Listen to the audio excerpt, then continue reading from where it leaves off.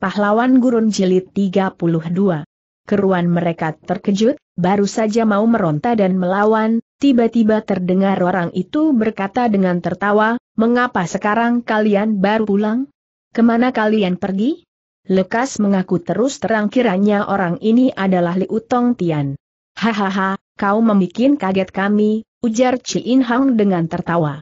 Sudah lebih dua jam kutunggu kalian di sini, ada tiga orang tamu ingin bertemu dengan kalian, kata Liu Tong Tian. Tiga orang tamu? Siapakah mereka dan ada urusan apa tanya In Hang heran.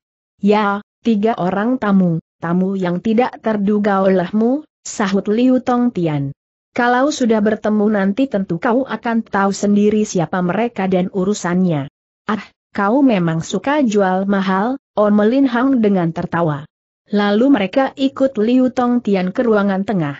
Sebelum masuk sudah terdengar suara ketua Kei Pang Liu Kun Lun sedang berkata, Nona Beng jangan khawatir, aku sudah mengirim orang pergi mencari mereka, sebentar lagi tentu ada kabar. Melengak juga Ci In Hang mendengar kata-kata Nona Beng apakah Beng Bing Sia yang dimaksud?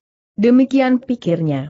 Benar juga lantas terdengar suara Bing Xia sedang berkata, bukannya aku khawatir, namun tempat tujuan mereka adalah istana yang Tian Lui yang berbahaya itu, harap ayah. Tanda petik. Tunggu saja sampai pagi nanti, bila tetap dia ada kabar, tentu Beng Tai Hiap diharap bantuannya ikut keluar mencari mereka, kata Liok Kun Lun. Maka dari luar Liu Tong Tian menanggapi, tidak perlu Beng Tai Hiap turun tangan, aku saja sudah sanggup membawa mereka pulang ke sini lalu ia menoleh dan berkata kepada In Hang berdua, nah, aku tidak dusta bukan? Mereka kan tamu yang tidak kau duga bukan? Kiranya ketiga orang tamu yang dimaksud Liu Tong Tian itu selain Beng Xiao Kang dan putrinya, orang ketiga adalah Giam Wan. Sudah tentu Ci In Hang dan Kok Hem Hai tidak menduga bahwa kedua nona itu akan datang bersama Beng Xiao Keng. Keruan pertemuan ini membuat mereka sama kegirangan. Dengan tertawa kemudian Ci In Hang berkata, dugaanmu memang tidak salah. Bing Xia, aku memang baru saja kembali dari tempat yang Tian Lui. Beng Xiao Keng menggeleng kepala, katanya, kau pun terlalu gegabah, In Hang, Kabarnya Kok Su Mongol Leong Xiang Atong juga berada di sana.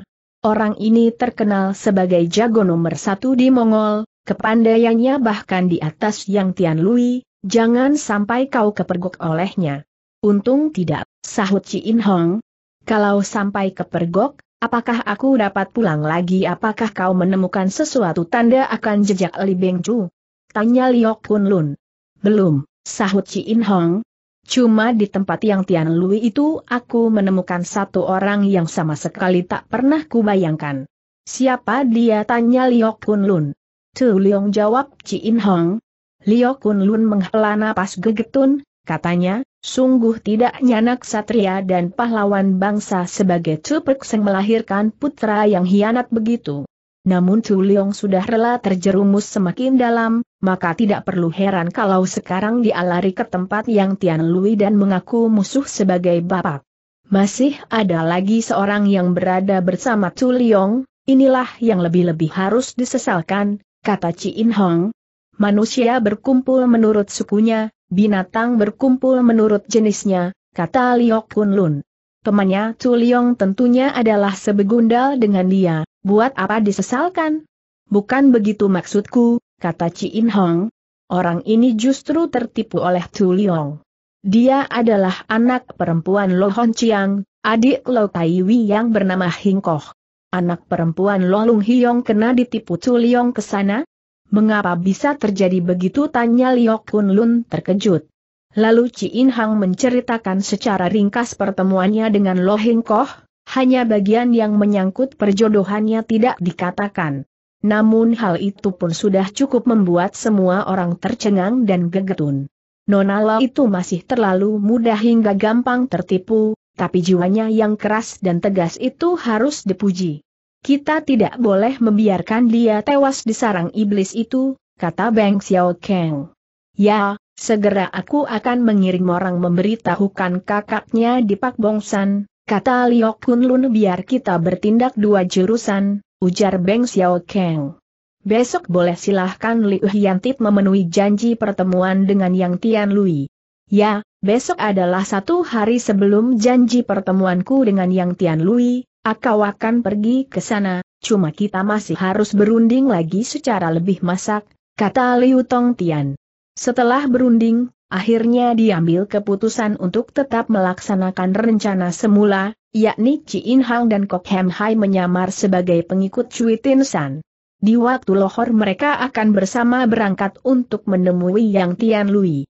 Sedangkan Beng Xiao Kang dan Hon Taiwi akan menyelundup ke tempat musuh pada paginya dengan bantuan pihak Kei Pang, dengan begitu mereka dapat bertindak menurut keadaan. Sudah tentu mereka harus berani menyerempet bahaya, tapi mengingat kesaktian Beng Xiao Kang berdua, biarpun terjadi apa-apa rasanya mereka masih sanggup menghadapi. Tidak lama kemudian Fajar pun tiba. Segera mereka melaksanakan tugas masing-masing menurut rencana. Sekarang kita kembali kepada Lo Hingkoh dan Tu Liong. Seperginya Ci In Hang dan membereskan surat yang ditulis Tu Liong, pada waktu Tu Liong mengantar surat itu keluar, pikiran Lo Hingkoh lantas bergolak, dan baru saja ia ambil keputusan tetap tentang apa yang akan dilakukannya nanti, sementara itu tampak Tu Leong telah datang kembali dengan membawa satu poci arak. Apakah kedua pengacau itu sudah tertangkap tanya Lah Hingkoh? Tidak, mereka keburu lolos, tapi tentu mereka sudah kapok dan tidak berani datang lagi, kata Tu Leong. Tadi ku dengar suara tindakan orang banyak di luar, agaknya tidak sedikit kawanmu, kata Lo Hingkoh. Diam-diam Culiong bersyukur kawanan Bu Sunuchen tidak dilihat oleh Sinona, maka jawabnya, ya, kemarin baru saja datang beberapa orang teman sehaluan, mereka pun bermaksud menggabungkan diri dengan pasukan pergerakan, makanya tadi aku mendesak kau menulis surat. Dalam hati Hingkoh memaki kepalsuan Culiong, namun ia tetap bersikap tenang, tanyanya, apa surat tadi sudah dikirim? Ya, baru saja suruh orang berangkat mengantar, sahut Tuliong. Maka sekarang aku sengaja kembali ke sini untuk minum arak bersama kau. Engkoh Liong, banyak terima kasih atas perhatianmu kepadaku, kata Lo Hingkoh dengan tersenyum manis. Lalu ia menuang penuh satu cawan arak dan berkata pula, sekarang biarlah aku menyuguh dulu tiga cawan padamu. Mestinya aku yang menyuguh kau lebih dulu sebagai tanda cintaku padamu, kata Tu Liong. Tapi sebentar lagi kita sudah menjadi suami istri, rasanya tidak perlu saling sungkan. Baiklah, akan kuminum suguhanmu. Rupanya Tu Liong sengaja hendak mencekoki Lo Hingkoh agar mabuk, lalu akan diperkosanya. Dalam keadaan beras sudah jadi nasi tentu Lo Hingkoh tidak berdaya lagi dan terpaksa menurut segala kehendaknya. Arak yang dibawanya itu memang arak simpanan, rasanya manis, tapi sangat keras kadar alkoholnya. Hanya saja Tuliong tidak menaruh obat tidur di dalamnya, sebab ia menyangka Lo Hingkoh pasti tidak tahan minum tiga cawan, maka tidak perlu obat tidur lagi.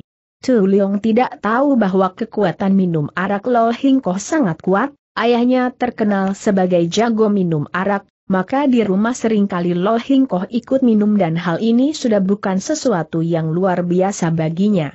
Begitulah maka Lo Hingkoh pura-pura tidak sanggup minum, ia sengaja main roman dengan Tu Leong secara mesra, di tengah bujuk rayu itu tanpa terasa Tu Leong sudah dicekoki beberapa cawan pula. Lo Hingkoh merasa lega karena yakin di dalam arak itu tidak dicampur sesuatu, maka ia pun mengiringi minum tiga cawan suguhan Tu Leong, Sebaliknya Tu Leong sudah dicekoki 12 cawan. Melihat wajah Lo Hingkoh mulai merah, metu sayu, jelas sudah terpengaruh oleh minuman keras itu. Tu Leong pikir sudah tiba waktunya, maka ia mulai bertindak, katanya, Hingkoh, kau mengaso saja, lalu ia mendekati Sin Ona hendak memajangnya ke atas tempat tidur. Lo Hingkoh pura-pura mendelik dan mengoceh mirip orang mabuk, tidak, tidak, Aku tidak apa-apa, aku ingin berlomba minum dengan kau. Hayo, kenapa kau tidak minum lagi? Aku tahu sebabnya kau tidak berani minum lagi, kau khawatir mabuk dan membocorkan isi hatimu.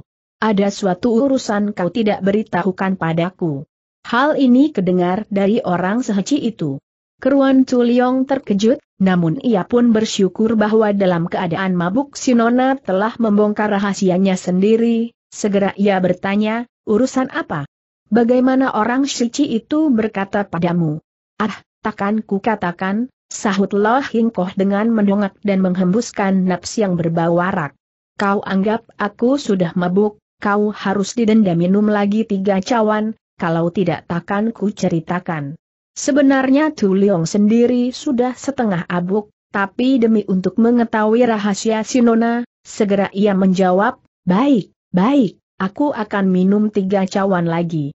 Setelah itu Lo Hingkoh lantas menuangkan satu cawan lagi untuk dirinya sendiri dan berkata pula, sekarang kau harus mengiringi pula tiga cawan dengan aku.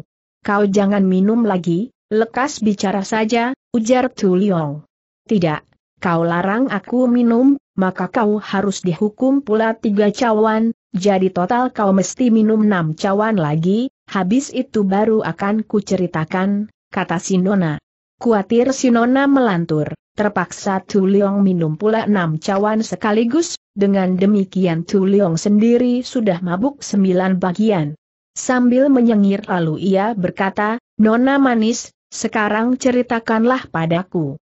Tiba-tiba Lolo Hingkoh menatapnya dengan tajam, lalu bertanya, orang macam apakah Li Sulem itu?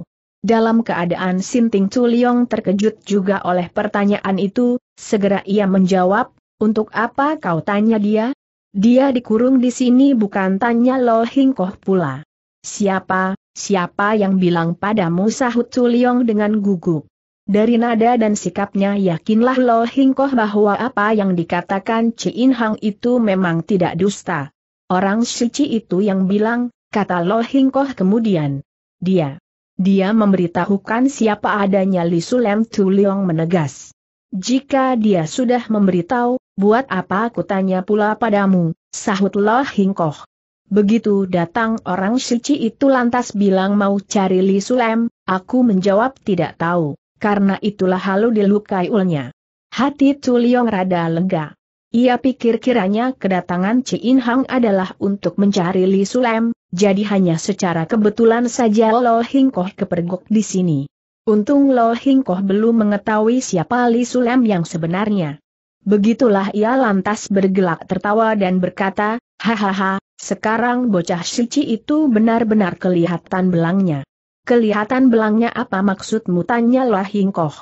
Dahulu aku mendengar dia telah bersekongkol dengan pihak Kim, sekarang dia mencari Li Sulem ke sini, hal ini membuktikan kabar itu memang tidak salah, kata Tu Liong. Jadi Li Sulem adalah tanda petik. Dia menjadi jago pengawal istana Kim, kata Tu Liong. Dasar pembohong yang ahli biarpun. Dalam keadaan mabuk ia tetap pandai berdusta. Oh, kalau begitu Li Sulem benar-benar telah kalian tawan di sini tanya Hingkoh pula. Ya, dia berusaha mencari rahasia kami, kemarin dulu ia berani menyusup ke sini dan telah ditangkap oleh kawanku, sahut Liong. Dia dikurung di mana, dapatkah kau membawa aku melihatnya? Agaknya kau tidak sungguh-sungguh sayang padaku Hingkoh sengaja berlagak sebagaimana perempuan yang melemen dalam keadaan mabuk.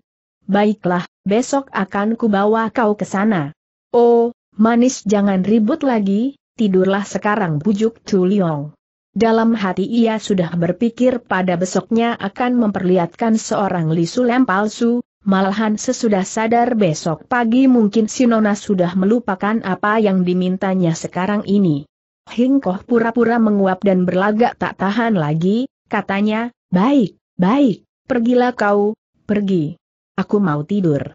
Dengan cengar-cengir Tuliong malah mendekat dan berkata, biar aku menunggu kau tidur, dan belum lagi ia memegang Sinona, mendadak iganya terasa kesemutan, nyata ia punya hiatu teleh ditotok Hingkoh. Kalau melulu kepandaian Hingkoh saja sebenarnya bukan tandingan Culiong, bila pemuda itu tidak dalam keadaan mabuk pasti serangan Hingkoh itu takkan berhasil. Pada saat Hingkoh menotok Culiong itulah, tiba-tiba di luar jendela seperti ada orang bersuara keheran-heranan. Keruan Hingkoh terkejut, cepat ia melolos golok dan membentak, siapa itu segera ia pun berlari keluar, namun yang tertampak hanya bulan sabit menghias tengah cakrawala dan tidak kelihatan bayangan seorang pun. Hingkoh menjadi ragu-ragu apakah pendengar sendiri tadi keliru. Segera ia masuk kembali ke dalam kamar. Sementara itu Tuliong yang tertotok hiatu bagian lemas menjadi tak bisa berkutik, dengan suara rada gemetar ia berkata, Hingkoh, kau berkelakar apa? Akan tetapi dengan mata melotot Hingkoh mengancam dada Tuliong dengan ujung golok, sahutnya dengan ketus, siapa berkelakar dengan kau? Hayo bawa aku pergi menemui Li Sulem sungguh kejut Tuliong tidak kepalang, rasa mabuknya seketika hilang beberapa bagian, katanya dengan suara tergagap, kau, kau, tanda petik. Pentanglah matamu yang lebar, kenali siapa aku ini sahut Hingkoh. Jangan kasangka aku adalah perempuan desa yang mudah ditipu olehmu. Aku adalah putri keluarga lo yang tegas melawan Kim, kakakku Lo Taiwi adalah pemimpin pasukan pergerakan yang terkenal. Jadi, jadi kau sudah, sudah tahu semuanya kata Tuliong dengan gemetar. Benar, aku sudah tahu semua. Tempat ini adalah istana Koksu, apa kau hendak tipu aku? Hektometer, hayo lekas jalan bentak Hingkoh. Hingkoh, harap ingat hubungan baik kita yang lalu, pinta Tuliong. Hektometer, kalau tidak ingat kebaikan yang lalu tentu jiwamu sudah kubereskan, sahut Hingkoh. Sekarang kalau ingin selamat, kau harus tunduk kepada perintahku dan jangan banyak omong, tapi di luar sana banyak penjaga lain, kalau ku bawa kau pergi mencari Li Sulem tentu mengalami berbagai pertanyaan, mungkin baru keluar sini saja kita sudah akan dihalangi, ujar Tu Liong. Bukankah kau adalah tamu terhormat di tempat koksu ini? Biasanya kau pun sok pintar, kenapa sekarang kau pura-pura bodoh? Pendek kata, jika kau tidak dapat membawa aku ke tempat tahanan Li Sulem, biarlah kita mati bersama saja di sini. Habis berkata Hingkoh lantas jojohkan ujung goloknya lebih kencang hingga kulit daging Tuliong terasa sakit. Tuliong sekarang sudah tahu tak Hingkoh yang keras, ia pikir kalau tidak menurut mungkin Sin Ona benar-benar akan membinasakan dia. Terpaksa ia menyanggupi sambil memikirkan jalan lolos, katanya, baiklah, demi kau aku rela berkorban, cuma untuk ke sana kau harus membuka aku punya hiatu yang tertotok ini. Hingkoh menotok Goan Tiao Hiat di bagian dengkul Tuliong, menyusul menjojoh dengan agak keras di ihai-hit bagian perutnya, lalu berkata, nah, sekarang kau sudah dapat berjalan, bawalah aku ke sana. Setelah bertemu Li Sulem tentu akan kubuka seluruh hiatu yang kutotok ini, Kiranya tadi Hingkoh hanya membuka hiatu bagian membuat lemas yang ditotok semula, tapi jojoh keras bagian perut barusan ini jauh lebih lihai daripada hiatu yang membuat lemas itu, meski Tuliong dapat berjalan, namun tenaga sukar dikeluarkan, maka keadaannya akan serupa dengan orang biasa yang tidak pandai ilmu silat. Malahan Hingkoh masih memegangi tangan Tuliong, lalu berjalan keluar bersama, dengan suara pelahan Hingkoh memperingatkan pula agar pemuda ini jangan main gila. Tiga buah jari Hingkoh memang tepat memencet uratna di pergelangan tangan Tuliong yang dipegangnya. Keruan Tuliong mati kutu, katanya dengan menyengir, Ai, kau terlalu banyak curiga, Hingkoh, betapapun aku tetap suka padamu meski kau selalu curiga padaku. Begitulah ketika mereka sampai di halaman luar, Benar juga segera mereka dipapak dan ditegur oleh dua jago pengawal. Rupanya kedua orang ini memang ditugaskan di situ untuk mengawasi gerak-gerik mereka. Kami hendak pergi menemui Kok Suya kalian, kata Tuliong kepada pengawal-pengawal itu. Jawaban itu rupanya cukup kena sehingga kedua penjaga itu tidak menaruh curiga dan membiarkan mereka lalu. Dalam hati Tuliong menggerutu akan kegoblokan kedua pengawal itu. Semula ia berharap mereka akan menanya dengan pelit sehingga tujuan Hingkoh akan gagal, tapi harapannya ternyata sia. Sambil berjalan diam-diam Tuliong minimang-nimang dan akhirnya mendapat satu akal lagi. Pikirnya, kenapa aku tak membawanya menemui Yang Tian Lui? Dengan kepandaian dan kecerdikan Yang Tian Lui, bila melihat Gelaat tidak beres tentu dia sanggup menolong diriku. Padahal tempat tinggal yang Tian Lui justru berlawanan arah dengan tempat tahanan Li Sulem, yang satu di sebelah timur dan yang lain di sebelah barat. Baru saja Tu Leong melangkah ke sebelah timur, tiba-tiba sepotong batu menyambar tiba dan menyerempet lewat di batok kepala Tu Leong. Kini Tu Leong sudah tiada kemampuan melawan serangan senjata rahasia, namun berdasarkan pengalaman, dari suara samberan batu itu dapat diketahui kekuatannya cukup membuat kepalanya berlubang, ia yakin bila orang mau mengambil jiwanya tentu batu itu takkan meleset. Dengan kuatir cepat ia berseru, persahabatan tetap abadi. Tanda petik. Sebagaimana diketahui kalimat itu adalah kode rahasia yang berlaku di dalam istana yang Tian Lui malam ini, bila ketemu orang sendiri kalimat itu tentu akan dijawab dengan ucapan menikmati rejeki bersama. Rupanya Tu Leong menyangka yang menyambitkan senjata rahasia itu adalah jagoan pengawal yang tidak kenal kawan sendiri dalam kegelapan, maka cepat ia menyerukan kode. Tak terduga pihak sana tetap tidak memberi jawaban, bahkan kembali sepotong batu menyambar tiba pula, cuma sekali ini arahnya berlainan dengan tadi, melayang ke sebelah barat, yaitu arah yang menunjukkan tempat tahanan Li Sulem. Tuliong tambah kaget, ia cukup cerdas sehingga dapat menduga beberapa bagian apa artinya itu, diam-diam ia merasakan gelagat tidak menguntungkan, sebab ia menduga orang yang tidak kelihatan itu pasti bukan lagi jago pengawal yang disangkanya semula. Kawan dari manakah yang berkelakar dengan aku seru Tuliong dengan suara tertahan. Loh Hingkoh tidak tahu duduk perkaranya, ia pun terkejut dan heran. Segera ia pegang lebih kencang urat nadi Tuliong sambil mengancam dengan suara pelahan, jangan sembarangan bersuara dan bergerak. Pada saat itulah tiba-tiba dari balik semak sana muncul seorang gadis cilik, Tu Leong dan Hing Koh sama terkejut dan berseru berbareng, Hi, kiranya kau gadis kecil itu ternyata si Kemala adanya. Nona Lo, demikian sahut si Kemala cilik. Aku disuruh orang agar memberitahu padamu bahwa tempat yang akan kau tuju adalah Cui Gewe Etong, Chuan Tu tahu di mana tempat itu, Cuma entah mengapa arah yang kalian tuju ini ternyata keliru. Kejut Tuliong tak terhingga, katanya, Kemala, kau, kau siapa? Dan siapa pula orang itu? Peduli apa sahut Kemala? Yang penting aku sudah menyampaikan pesannya, setiap gerak-gerikmu selalu diawasi beliau, maka hendaklah kau jangan main gila bila ingin selamat. Oh, tentu, tentu, cepat Tuliong menjawab tapi di dalam hati ia menggerutu akan kekurang ajaran. Si kemala cilik itu. Sementara itu sudah sekian lamanya hiatu yang tertotok itu, dengan lekangnya yang cukup kuat, lamban laun rasa lemas Culiong tadi sudah mulai berkurang, diam-diam ia pun mengerahkan tenaga, sedikit demi sedikit ia himpun hawa murni dalam tubuhnya, soalnya di samping mengerahkan tenaga itu ia harus berjalan pula, maka untuk sementara hiatu yang tertotok itu belum dapat dilancarkan, akan tetapi sekarang hanya soal waktu saja, maka di samping mengerahkan tenaga ia pun memikirkan cara meloloskan diri. Dalam pada itu si Kemala telah menyusup kembali ke tengah semak, dilihatnya Tuliong tidak berani main gila lagi dan telah putar haluan ke arah Cui Gewe Etong, maka si Kemala baru berpaling dan berkata dengan suara tertahan, Hal siok siok, sekarang aku boleh pulang ya. Dari atas pohon meloncat turun satu orang dan berkata, kau jangan pulang rumah, mumpung hari baru terang lekas kau melarikan diri saja.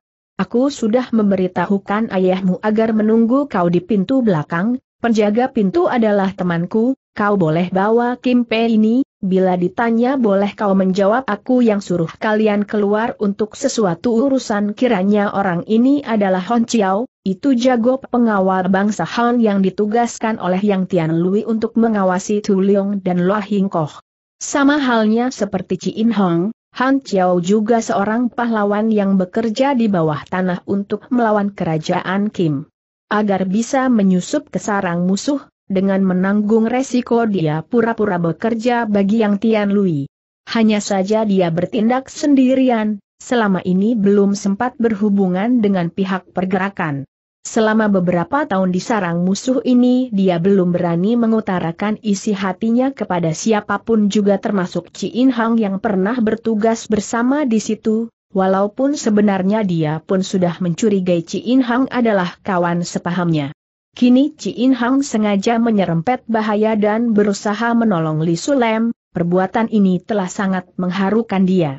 Sebab itulah diam-diam dia membantu Ci In Hang meloloskan diri, bahkan ia bertekad akan melaksanakan cita-citanya selama ini andaikan jiwanya harus berkorban ia pun tidak sayang lagi.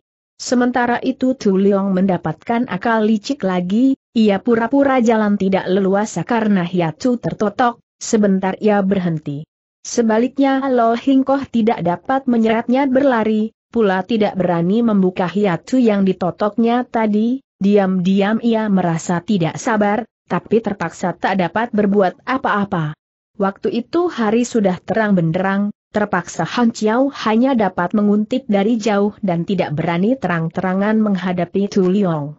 Untung jago-jago pengawal yang tugas jaga di taman itu-itu semuanya kenal Tu Liong, sedangkan Han Chiao disangka oleh pengawal-pengawal itu sebagai kawan sendiri yang sengaja ditugaskan mengawasi Tu Liong, tidak ada yang menduga bahwa Han Chiao sudah mengkhianati Yang Tian Lui. Begitulah Tu Leong sengaja mengulur waktu, diam-diam ia menghimpun tenaga untuk membuka hiatu yang tertotok. Samapi lama sekali akhirnya mereka sampai di tempat tahanan Li Sulem, sementara itu tenaga Tu Leong sudah mulai terkumpul, kekuatannya sudah mulai pulih. Sementara itu Ci In Hang dan Kok Hem Hai yang menyamar sebagai pengiring Liu Tong Tian serta Cui Tin San, menjelang lohor mereka pun memasuki istana Koksu. Dalam keadaan menyamar ternyata tiada orang mengenali Ci In Hang lagi.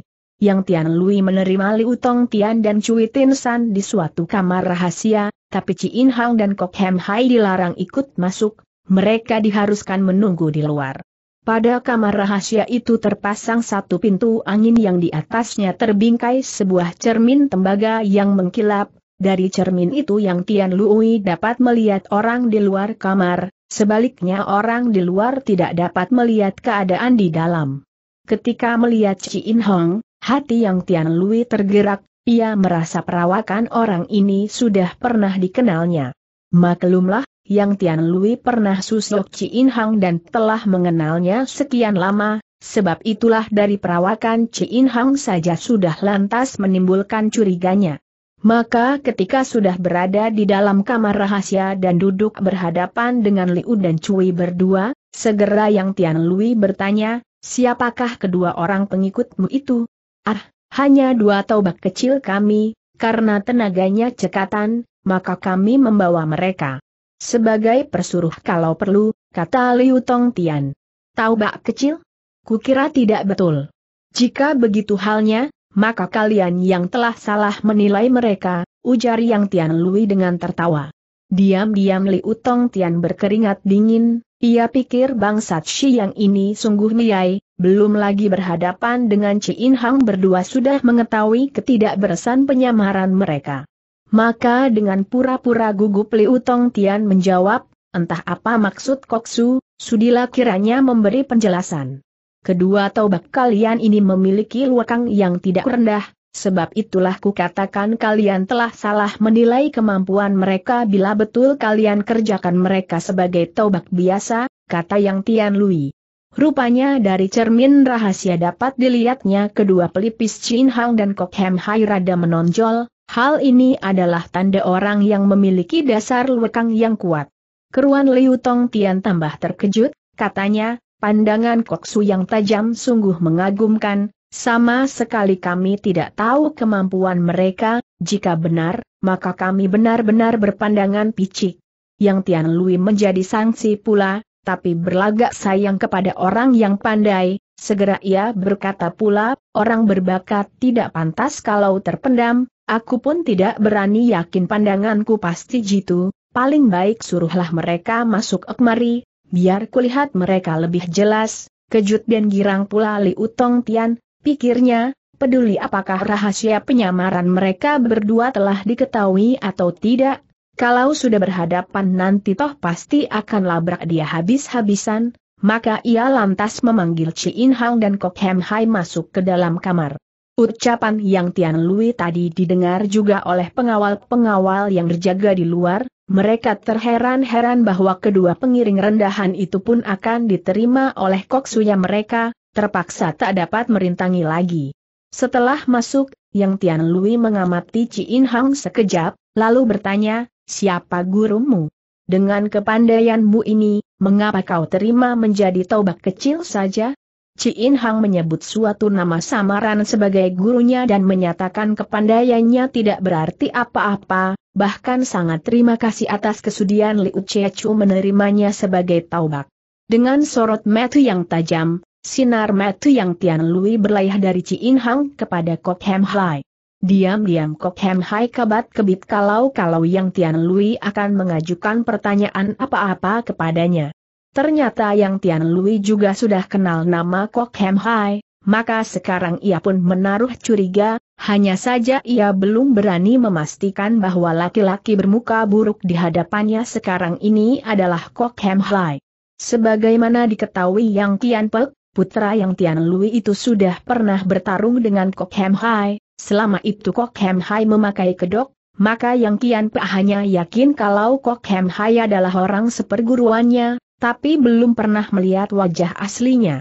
Pulangnya Yang Kian Pek telah melaporkan pengalamannya kepada Seng Ayah, setelah diselidiki akhirnya Yang Tian Lui mendapat tahu namanya Kok Hem Hai dan diketahui pula ia mempunyai muka yang buruk. Sekarang meski Kok Hem Hai telah merias mukanya sedemikian rupa toh tetap sukar menghilangkan codet pada mukanya itu. Karena itulah yang Tian Lui menjadi curiga, ia pikir kalau si muka buruk ini adalah Kok Hem Hai, maka yang seorang lagi pasti Ci In Hang adanya. Pantas perawakannya tampak sudah pernah dikenalnya. Tiba-tiba yang Tian Lui mendapat suatu akal, ia sengaja menjabat tangan Ci In Hang sebagai tanda orang tua menghargai orang muda, tapi sebenarnya ia hendak menjajalnya dengan Tian Lui Kang. Ci In Hang melihat maksud yang Tian Lui itu, ia terkejut, tanpa pikir lagi segera ia menggertak, Lui Tian Kau Hang. Serentak Kok Hem Hai mengiyakan, kedua orang menghantam berbareng, dengan gabungan mereka telah adu pukulan satu kali dengan Yang Tian Lui. Terdengarlah suara gemuruh yang keras. Ci In Hang dan Kok Hem Hai tergetar mundur tiga tindak, Yang Tian Lui juga tergeliat, cuma tidak sampai menggeser langkah. Keruan terkejut juga yang Tian Lui, ia merasa dengan gabungan kedua anak muda itu untuk mengalahkan sedikitnya juga perlu ratusan jurus lagi. Dalam pada itu, dengan cepat luar biasa Li Utong Tian dan Cui Tin San juga lantas turun tangan. Sekaligus pedang Li Utong Tian menusuk beberapa tempat berbahaya di tubuh yang Tian Lui, sedangkan Cui Tin San menghantam dengan tenaga dahsyat. Yang Tian Lui benar-benar lihai luar biasa, Cepat sekali ia menggeser dan ganti tempat, sekali lengan bajunya mengebas, ujung pedang Li Utong Tian tersampuk menceng, berbareng telapak tangan kiri menghantam sehingga Cui Tin San dipaksa melompat mundur. Untung dia baru saja beradu tenaga pukulan dengan Ci In Hang berdua, kalau tidak Cui Tin San pasti terluka parah handaikan tidak mati.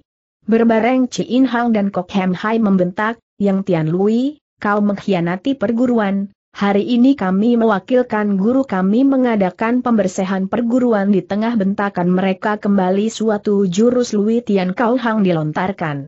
Meski kepandaian yang Tian Lui sangat tinggi, namun sekaligus menghadapi empat lawan tangguh, mau tak mau ia merasa kewalahan juga. Terpaksa ia sambut pula serangan In Hang berdua, terdengar suara gemuruh lagi, berbareng terdengar juga suara Brett, Kok Hem Hai dan In Hang kembali tergetar mundur, tapi lantaran tidak sempat menghadapi lawan lain, maka lengan baju yang Tian Lui terpapas juga oleh pedang Li Utong Tian, hampir-hampir saja jarinya ikut terkutung. Pek Loto A, keluar kau teriak yang Tian Lui. Serentak para busu di ruangan luar dan prajurit yang memang sudah disembunyikan di dalam ruangan lantas membanjir keluar semua. Tidak perlu orang banyak seru yang Tian Lui pula. Cukup Pek Klotoa dan anak Kian yang tinggal di sini, yang lain mundur keluar semua, jaga rapat kalau mereka membawa begundal yang lain. di tengah suara teriakan yang Tian Lui itu, seorang tua berwajah merah mendadak menubruk ke arah Cui Tin San, di samping sana seorang pemuda baju putih juga menerjang ke arah Li Utong Tian dengan pedang terhunus. Kiranya orang tua berwajah merah itu adalah Pek Ban Hiong, sesudah Pekah Cheng diobrak-abrik oleh Li Sulem, segera ia bersama putranya, yaitu Pek Jian Seng, melarikan diri ke tempat yang Tian Lui ini. Sedangkan pemuda baju putih itu tak perlu diterangkan lagi, dia adalah putra yang Tian Lui, yang kian peadanya. Yang Tian Lui cukup kenal kepandaian keempat lawannya yang gebat, bertarung di dalam kamar, bila terlalu banyak orang malah mengganggu dan kurang leluasa, sebab itulah ia suruh orang-orangnya keluar semua, hanya tertinggal Pek Ban Hiong dan Yang Kian Pek yang cukup kuat membantunya. Dengan kedua pembantu ini yang Tian Lui yakin kemenangan pasti akan dipegangnya.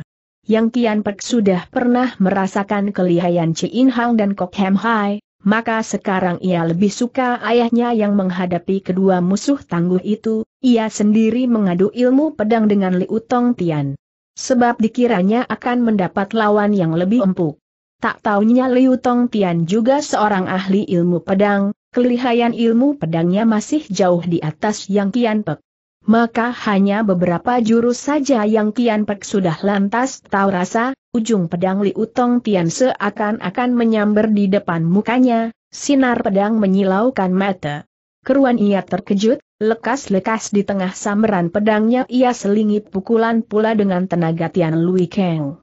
Tiba-tiba langkah Li Utong Tian rada sempoyongan, nyata dia telah mengeluarkan ilmu pedang Cui Pat Sian, delapan dewa mabuk, langkahnya seperti tidak tetap bagai orang mabuk, tapi setiap gerak pedangnya selalu mengincar tempat lawan yang berbahaya.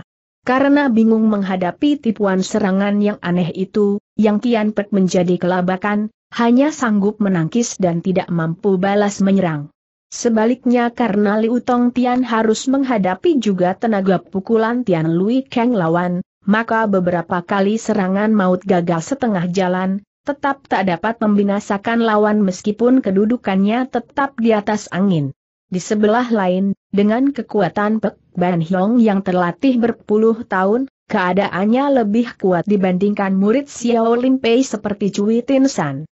Ilmu pukulan Tai Li Kim Kong Chiang Cui Tin San memang keras, tapi kurang mantap. Pek Ban Hiong telah melawannya dengan Bian Chiang yang lemas ditambah dengan Eng Jiao Kang, tenaga. Cakaran yang liahi, dalam sekejap saja Cui Tin San sudah terkurung di tengah pukulan dan cakarannya. Hanya Pek Ban Hiong juga rada jeri terhadap ketangkasan Cui Tin San, maka ia senegaja main tenang dan mantap, kalau tenaga Cui Tin San sudah terkuras habis barulah akan diberesi. Di sebelah sana yang Tian Lui melawan In Hang dan Kok Hem Hai, kedua pihak sama-sama mengeluarkan segenap kemahiran Tain Lui Kang masing-masing, angin pukulan merdu gemuruh, di mana angin pukulan menyambar daun jendela tergelepar dan tiang tergetar, atap rumah berkeriutan. Sebagian musuh yang berkepandaian lemah sejak tadi sudah menyingkir keluar.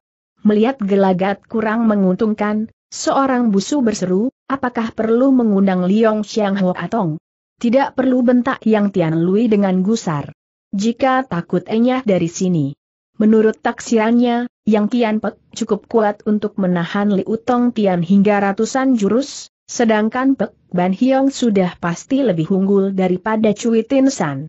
Dalam keadaan demikian asalkan salah seorang, Pek Ban Hiong atau Yang Tian Lui sendiri dapat mengalahkan lawan dalam waktu singkat, maka dengan segera mereka dapat membantu Yang Tian Pek membereskan Li Utong Tian, jadi jelas pihak Yang Tian Lui menduduki posisi yang lebih menguntungkan, apalagi dia adalah Kok Su Negeri Kim, sedangkan Liong Xiang Ho Atong adalah Kok Su Mongol, kedudukan kedua orang sederajat, mana sudi dipandang rendah dengan minta bantuan kepada tamunya itu.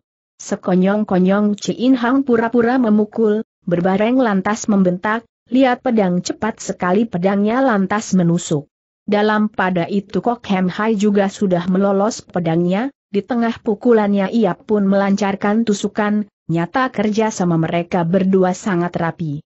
Menghadapi serangan dari muka dan belakang dengan angkuh yang Tian Lui masih menjengek, Hektometer, berani pamer kepandaian yang telah kalian pelajari, keluarkan saja seluruhnya belum lenyap suaranya pedang Ciin Hang menyambar tiba di depan dahinya, hampir-hampir saja batok kepalanya tertabas. Menyusul Kok Hem Ha juga menusuk pula dengan care, tak terduga. Segera yang Tian Lui mengebas dengan lengan bajunya. Tak terduga ujung pedang Kok Hem Hai mendadak memutar ke samping dan kembali menyerang dari arah yang getak terpikirkan olehnya.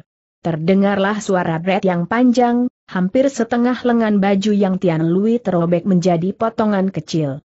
Kiranya gerakan pedang Kok Hem Hai diserta dengan puntiran sehingga kain baju itu seperti digiling saja. Keruan yang Tian Lui terkejut dan gusar pula.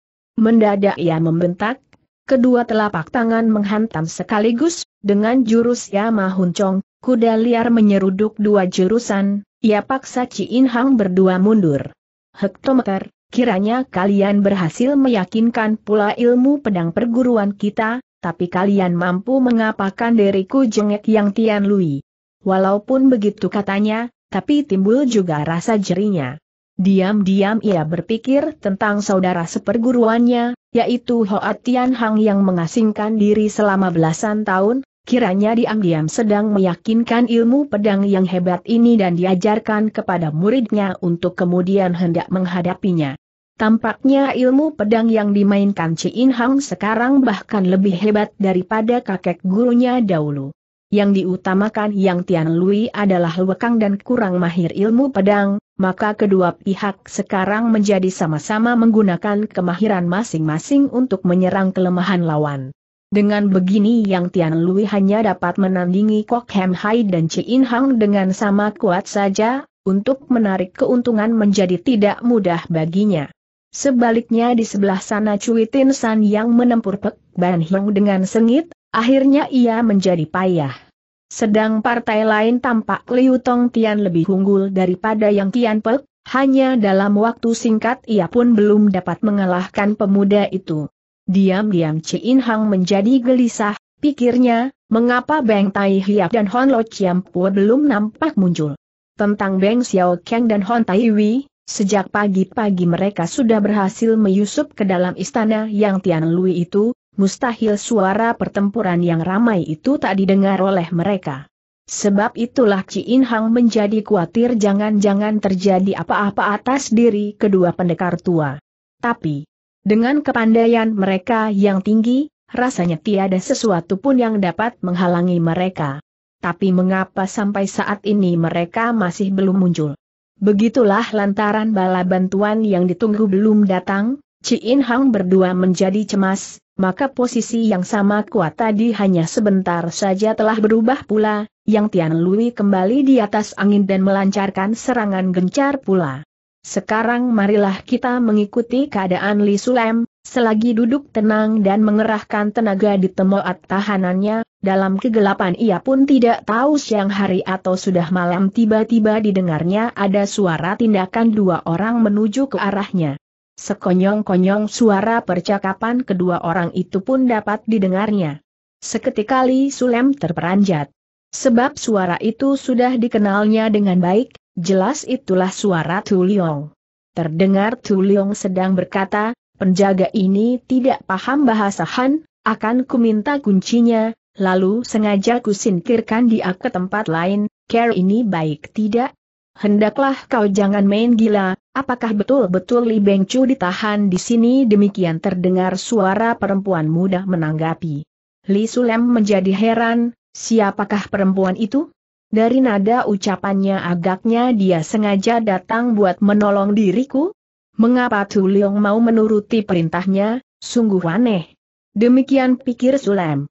Dari suara mereka itu Li Sulem menaksir jarak mereka dari kamar tahanan itu masih 2-30 langkah lagi, agaknya suara perempuan itu diucapkan dengan setengah berbisik di tepi telinga Tu Liong.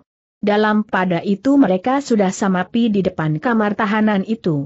Penjaga di situ adalah seorang busu Mongol yang sudah kenal Tu Liong, tapi belum kenal Lo Hingkoh. Maka ia merasa sangsi melihat Tu Liong datang bersama seorang perempuan muda. Namun belum dia menegur, Tu Liong sudah lantas mendahului membuka suara dalam bahasa Mongol, berikan kunci palsu padaku, cepat kau pergi mengundang Liong Xiang atau. Tidak perlu tanya lagi, lekas berangkat. Aku berada dalam ancaman orang ini rupanya busu Mongol itu tidak dapat bicara bahasa Han, tapi sedikit dapat mendengar artinya. Sebab itulah Tu Liong mendahului bicara bahasa Mongol dengan dia. Saat itu tidak terpikir oleh Tu Liong bahwa meski Lo Hingkoh tidak paham bahasa Mongol, tapi Li Sulem yang terkurung di dalam penjara itu fasih bahasa asing itu. Kini Li Sulem sudah yakin Lo Hingkoh datang untuk menolongnya, walaupun belum jelas siapa nona itu, namun tiada kesempatan berpikir lagi baginya, segera ia berteriak, lekas turun tangan, bunuh penjaga itu belum lenyap suaranya, Ternyata busu Mongol itu sudah menerjang lebih dulu kerah Lo Hingkoh sambil memaki, budak busuk, berani benar kau dia menggunakan bahasa Han yang kaku, namun hal itu pun membuktikan dia bukannya sama sekali tidak paham bahasa Han sebagai dikatakan Tuliong tadi. Dengan gesit Hingkoh mengegos ke samping, berbareng ia terus melolos goloknya, dengan jurus Liong Hui Hang Bu, naga terbang burung Ho menari, kontak ia membacok lawannya. Sebelah tangannya mestinya mencengkeram kencang urat nadi tangan Liong, tapi kini ia harus menghadapi busu Mongol itu, terpaksa ia lepaskan Liong. Penjaga itu adalah busu bawahan Dulai yang mahir ilmu bulat ala Mongol, dalam hal pertarungan dari jarak dekat justru adalah kemahirannya. Ketika bacokan golok hingkoh mengenai tempat kosong, segera busu Mongol itu menubruk maju dengan sebelah tangan ia tahan lengan Sinona yang bersenjata itu, sedang sebelah kaki lantas menjegal, maksudnya hendak merobohkan hingkoh. Tapi ilmu golok hingkoh juga sangat ganas, cepat ia berputar, goloknya ikut menyambar ke atas dan ke bawah, ke kanan dan ke kiri, dengan demikian, biarpun lawan menyerang dari arah mana pun pasti akan terkena goloknya. Care bergulat orang Mongol meski berbeda daripada Kim Najilhoat, tapi dasarnya sama, maka dalam hati Hingkoh merasa senang karena pihak lawan yang menyodorkan kaki dan tangannya untuk ditabas. Tak terduga baru saja goloknya bekerja, tiba-tiba dari belakang angin keras menyambar kepalanya, kiranya Tuliong telah menghantamnya dari belakang. Ketika Hingkoh sedikit menunduk ke depan, punggungnya yang kesakitan kena pukulan, hanya saja tidak terluka. Rupanya saat itu baru saja Tu Leong dapat melancarkan hiatu yang tertotok, tenaganya baru pulih satu dua bagian saja. Dengan gemas Hingkoh terus menghantam ke belakang hingga Tu Leong kontan terjungkal, sedangkan golok di tangan kanan masih terus bekerja seperti tadi. Tapi lantaran perhatiannya terpencar, dengan sendirinya putaran goloknya menjadi kurang sempurna.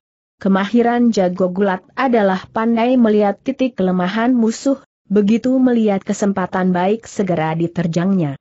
Ketika golok hingkoh menyambar lewat samping kepala busu Mongol itu dan tidak mengenai sasaran, seketika busu itu maju, sekali pegang dan sekali putar, kontan hingkoh dibanting kebalik pundaknya. Haha, nona cilik, Aku menjadi tidak tega membinasakan kasur busu itu dengan bergelak tertawa. Dan baru saja ia hendak menubruk maju untuk menangkap Hingkoh, sekonyong-konyong sepotong batu kecil menyambar tiba dan tepat mengenai hiatu di bagian dengkulnya, seketika busu itu roboh terguling. Dengan gerakan lihai tahting, ikan lele melejit, cepat Hingkoh melompat bangun, ketika dilihatnya busu Mongol itu sudah menggeletak, maka taulah dia ada orang telah membantunya secara diam-diam. Tanpa pikir lagi goloknya lantas menabas untuk habiskan nyawa busu Mongol itu. Lekas lari, Hingkoh segera Tuliong berseru. Demi kebaikanmu makanya tadi aku mencegah kau membunuh busu itu. Sekarang sudah kau lakukan, bila tidak lekas lari tentu kau sendiri akan celaka. Di sekitar sini masih banyak musuh, bila diketahui tentu sukar bagimu untuk lolos. Tentang menolong Li Sulem boleh serahkan padaku saja, kau sendiri lekas lari.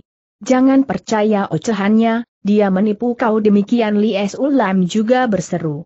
Jangan percaya kata berbisa orang lain, Hingkoh kata Tuliong dengan suara rada gemetar. Betapapun kita sudah pernah sumpah setia. Mendengar itu, Sulem menjadi bingung. Ia heran ada hubungan apakah antara wanita ini dengan Tu Leong jangan-jangan seperti halnya N.I.O. Wan juga terpikat oleh kata-kata manisnya. Dalam pada itu pikirannya Hingkoh menjadi kacau, bentaknya, tutup mulutmu. Saat ini aku belum ada tempo untuk membunuh kau. Seorang gadis betapapun tetap sukar melupakan kekasihnya yang pertama, sebab itulah biarpun dia amat benci kepada Tu Leong, namun tidak tega membunuhnya. Dalam keadaan pikiran kacau tak teringat olehnya Tu Leong dapat bergerak bebas lagi, padahal Hiatu telah ditotoknya. Hingkoh berhasil menemukan kunci dalam baju busuk penjaga tadi, segera ia hendak membuka pintu kamar tahanan. Tetapi mendadak angin berkesyur dari belakang, seorang telah menubruknya dan kukunya yang tajam telah membuat lecet pundaknya. Keruan Hingkoh terkejut, cepat ia mengagus untuk menghindarkan cengkeraman musuh. Waktu ia menoleh, dilihatnya penyerangnya ternyata bukan Chu Liong, tapi seorang wanita berambut terurai.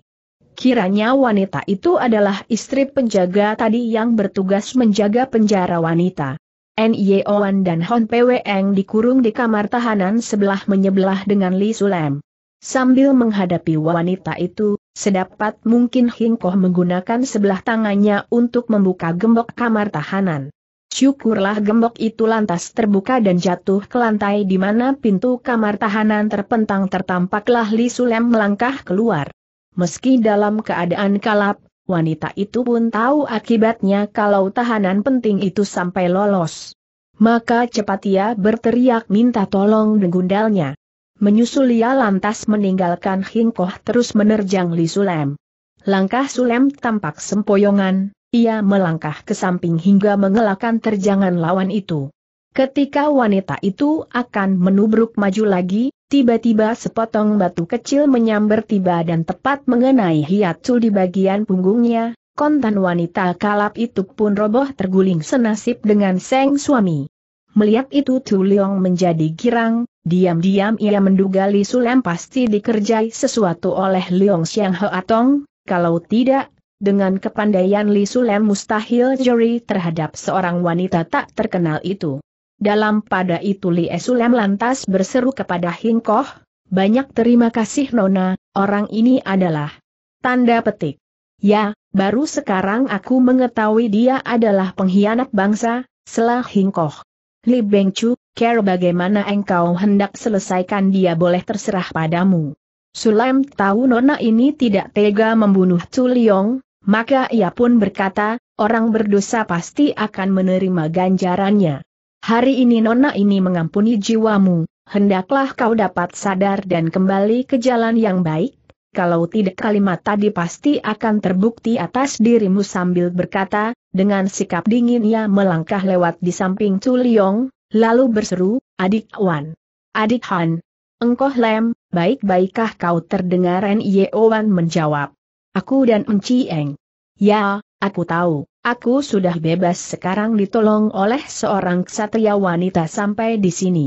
Ia melirik ke arah Lohingkoh, Cepat nona itu memberitahukan namanya dengan suara perlahan dan katakan pula nama kakaknya serta kedudukannya di dalam pasukan pergerakan, ia pun memberitahu bahwa Ci In Hang juga sudah datang buat menolongnya, maka Li Sulem lantas melanjutkan, Ksatria wanita, Nona Lo yang telah menyelamatkan diriku. Ci In Hang katanya juga sudah berada di Taito sini. Hendaklah kalian tunggu sebentar lagi, setelah aku menemukan kuncinya segera aku bebaskan kalian. Di sebelah sana, Han Chiao yang masih sembunyi di sekitar situ menjadi melengak juga dan timbul rasa sangsinya demi mendengar percakapan Sulam dan N.I.O.An itu. Han Chiao adalah orang cerdik dan cermat, timbul rasa sangsinya mengapa N.I.O.An pertama menanyakan keadaan Li Sulam baik-baik tidak, Padahal kedua suami istri penjaga itu sudah dirobohkan semua, masakah Wan tidak mengetahui kalau Li Sulem berada dalam keadaan sehat? Sebaliknya Li Sulem mengapa menjawab dia, aku tahu. Tahu apa yang dimaksudkannya jangan-jangan ada sesuatu di balik ucapan itu? Wah, celaka, jangan-jangan demikian kesangsian pikiran Hon Chiao. Han Chiao merasa ada sesuatu yang tidak beres, tidak sempat lagi baginya untuk berpikir lebih banyak, segera ia pun keluar dari tempat sembunyinya dan memburu ke sana.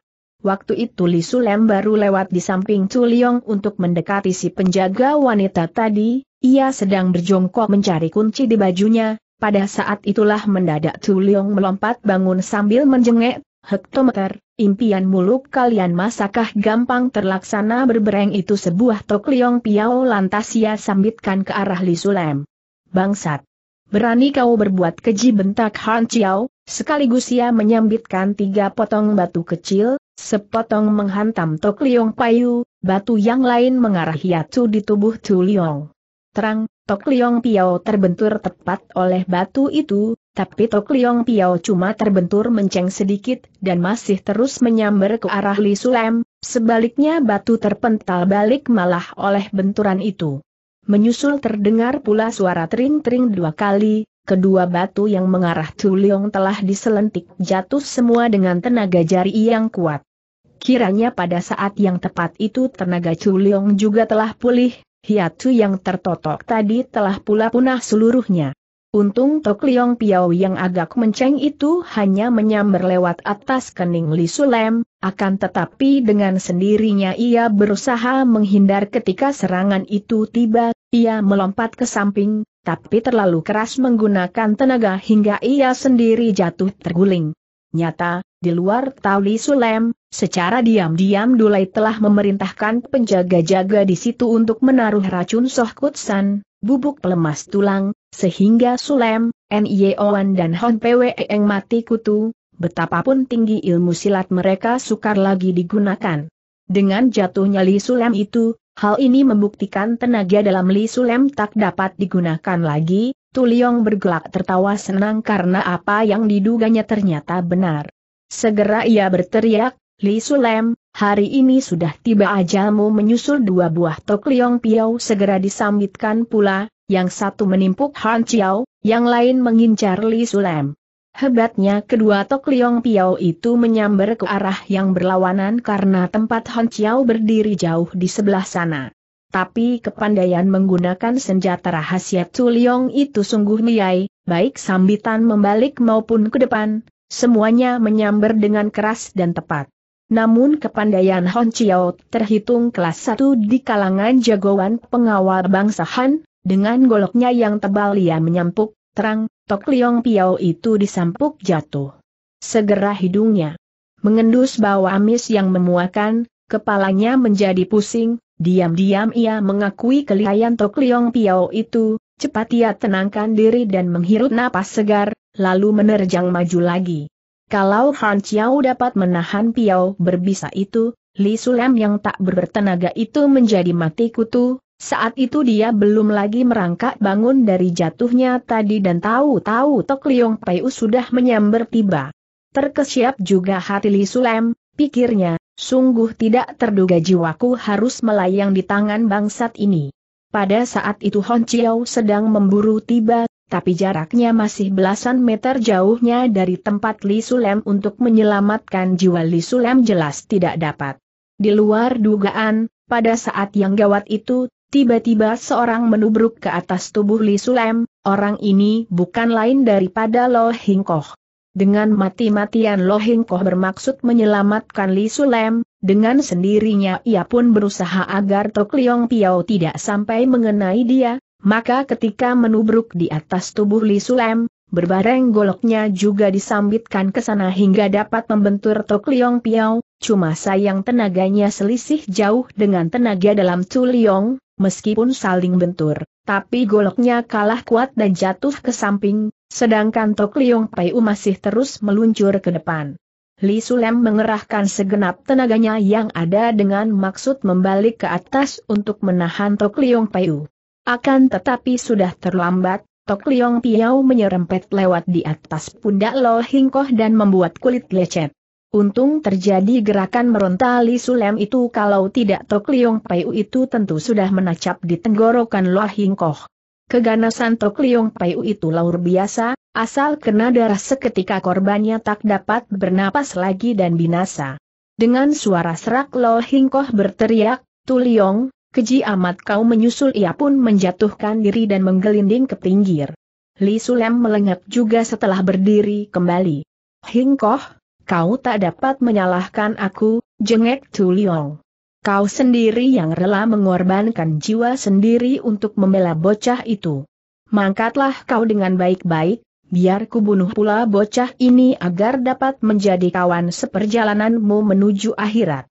Li Sulem masih berdiri tertegun, ia baru sadar ketika Liong menubruk ke arahnya.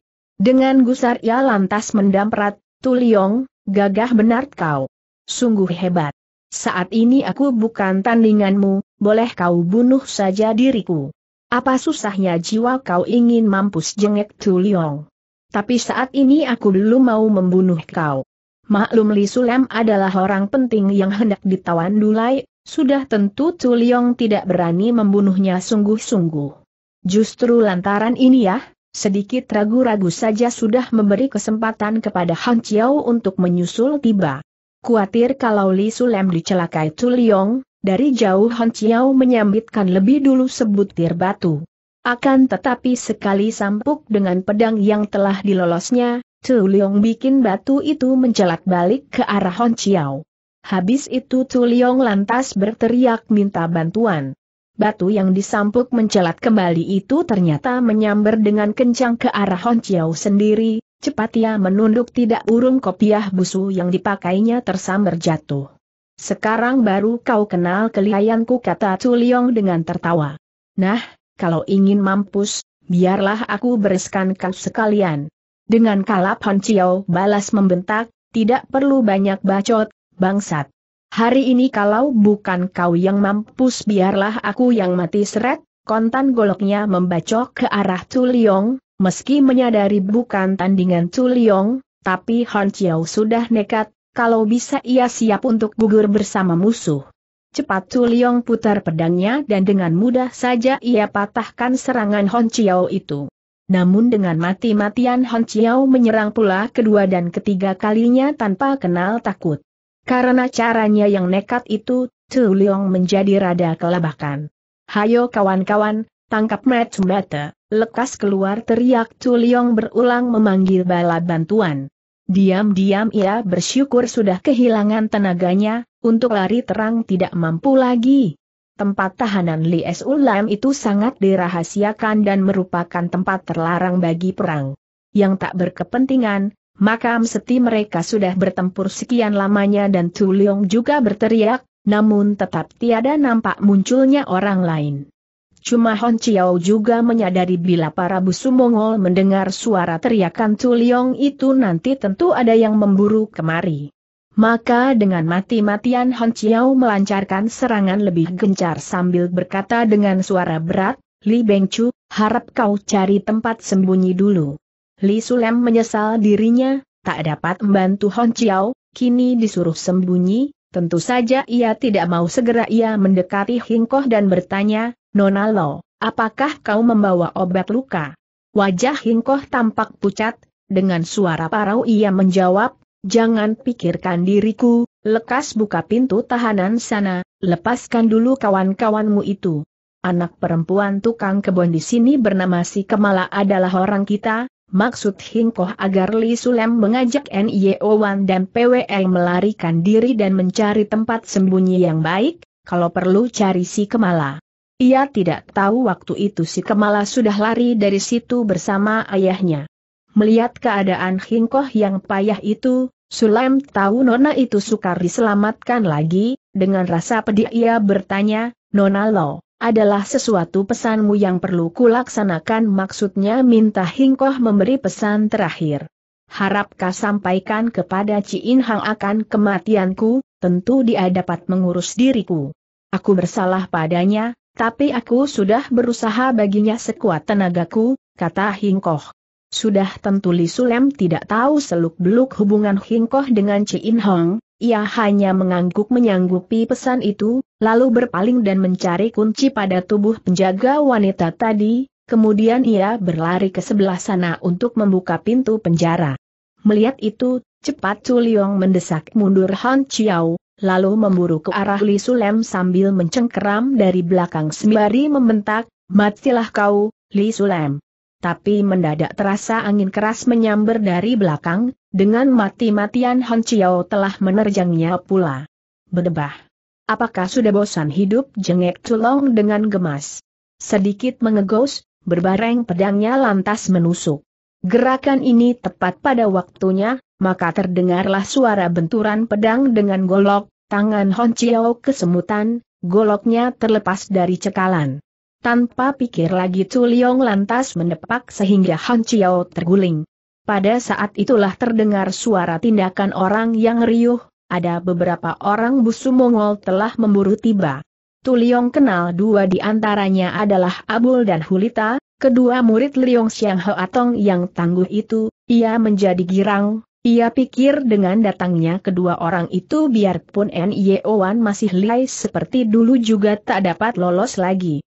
Dapatkah Li Sulem meloloskan diri bersama Nye Owan dan Hon Pei Eng? Care bagaimana Li Sulem, Beng Xiao Kang dan kawan-kawannya mengobrak-abrik sarang yang Tian Lui secara besar-besaran,